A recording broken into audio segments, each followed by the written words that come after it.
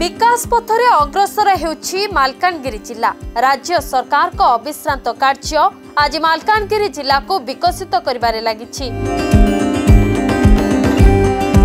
ଦିନେ ଯେଉଁ ଜିଲ୍ଲାର ଯେଉଁ ଅଞ୍ଚଳ ବିଚ୍ଛିନ୍ନାଞ୍ଚଳ ଥିଲା ଆଜି ତାହା ସ୍ୱାଭିମାନ ଅଞ୍ଚଳରେ ରୂପାନ୍ତରିତ ହୋଇଛି। ରାଜ୍ୟ ସରକାରଙ୍କ ବିକାଶମୂଳକ କାର୍ଯ୍ୟରେ ବଦଳିଛି ଜିଲ୍ଲାର ଭୌଗୋଳିକ ଚିତ୍ର।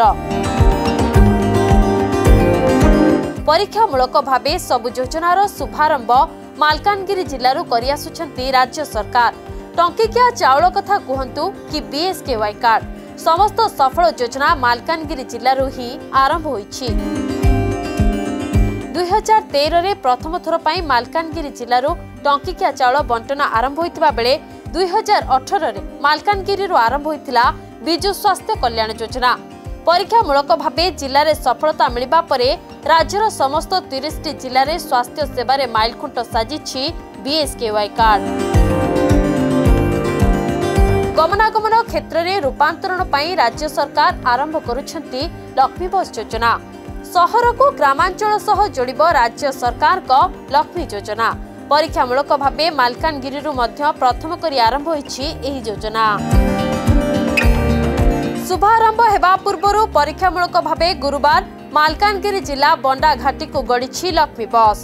ସ୍ୱାଭିମାନ ଅଞ୍ଚଳରେ ସୁଦୃଢ଼ ହେବ ଗମନାଗମନ ସୁବିଧା। ପଇଁତିରିଶ ଯାତ୍ରୀଙ୍କୁ ନେଇ ଖୈରପୁରଠାରୁ ବଣ୍ଡା ଘାଟିକୁ ଗଡ଼ିଥିଲା ଲକ୍ଷ୍ମୀ ବସ୍।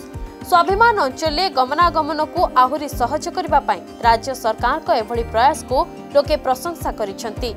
ଏହାସହ ବଣ୍ଡା ଘାଟିରେ ପ୍ରଥମ ଥର ବସ୍ ପହଞ୍ଚିଥିବା ଦେଖି ଅଞ୍ଚଳବାସୀ ଖୁସି ପ୍ରକାଶ କରିଛନ୍ତି।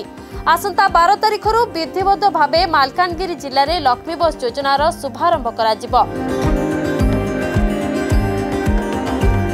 ଲକ୍ଷ୍ମୀ ବସ୍ ଯୋଜନାରେ ପ୍ରଥମ ପର୍ଯ୍ୟାୟରେ ଜିଲ୍ଲାରେ ଗଡ଼ିବ ଚଉତିରିଶଟି ବସ୍। ରାଜ୍ୟରେ ନିରାପଦ ପରିବହନ ସେବା ଲକ୍ଷ୍ୟ ନେଇ ରାଜ୍ୟ ସରକାର ଆରମ୍ଭ କରିଛନ୍ତି ଲୋକେସନ ଆକ୍ସେସିବିଲିଟି ମଲ୍ଟିମୋଡାଲ ଇନିସିଏଟିଭ୍ ବା ଲକ୍ଷ୍ମୀ ଯୋଜନା। ଏହି ଯୋଜନାରେ ଏକ ହଜାରରୁ ଅଧିକ ବସ୍ ଚଳାଚଳ କରାଯିବା ନେଇ ଲକ୍ଷ୍ୟ ରଖାଯାଇଛି।